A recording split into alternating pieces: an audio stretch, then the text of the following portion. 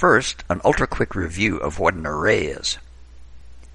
Instead of using separate, similarly named variables to hold a series of related values, such as the scores on five quizzes, we can associate those five values with a single name. It's a lot like using subscripted variables in algebra,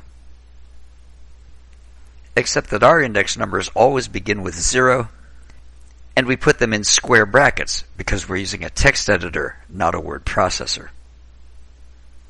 Let's put this array into a program.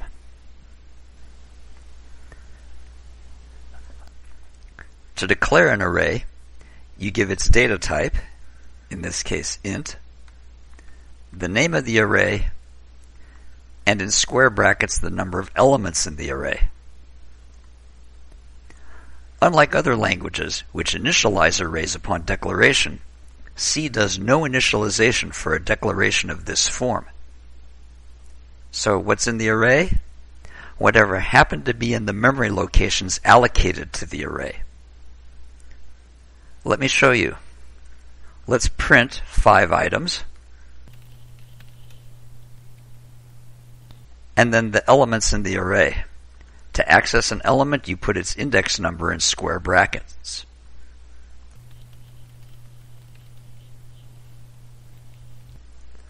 Let's build this program. And the compiler, because we have all warnings turned on, will tell us that we're using the elements in the array without being initialized. Despite the warnings, we'll run the program and we'll see, essentially, random numbers coming up. It's whatever was lying around in memory. If an array isn't automatically initialized, what can you do?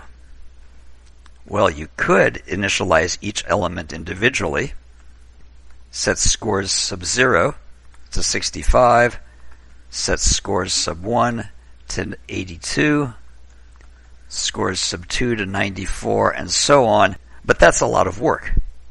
And what if we had, say, an array of 30 days worth of temperatures? This would be a really cumbersome task. Instead, you can initialize an array when it's declared. Put an assignment operator and then in braces put the elements that you want in the array. Let's build the program. No more warnings.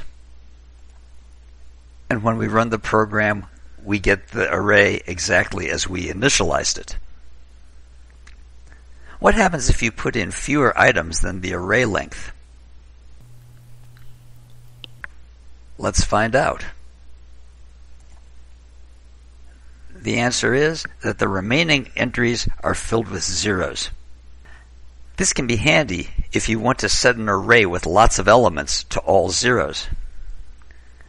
For example, in this array that tells how many steps I took per day, and I have 365 entries, I can set them all to zero by initializing the first element and all the rest will become zero as well. To show you that this is indeed the case, I can say steps at mid-year and print out daily steps at index number 182 and it is indeed zero. There's one more way to initialize arrays. What if I wanted to set all of my daily steps to zero except the days at index numbers 30, 64, and 310? Here's how I'd do it. I'd say in square brackets, element number 30 is set to say 8040. The element at index 64 should be set to 7500 and the element at index 310 should be set to 9525.